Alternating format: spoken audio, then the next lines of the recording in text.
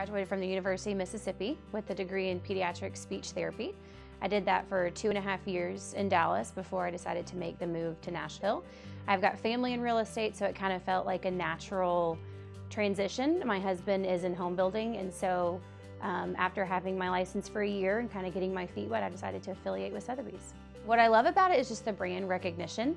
It's been really great, um, you know, going out of town and then people are like, oh, who are you with? Oh, I'm with Zeitlin Sotheby's.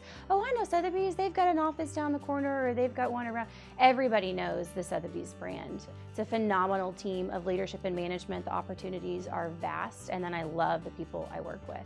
The team of agents is really fantastic. I've learned a lot. If I don't know the answer, somebody does. Like I said, I did pediatrics, and so getting to work with people, helping them through the process, the highs and the lows, are just kind of a great, great hand-holding process. I just love people, so I think that was kind of why I was drawn to, I love people and I love children. So if I can help families find their next home, that kind of hits a target with my heart.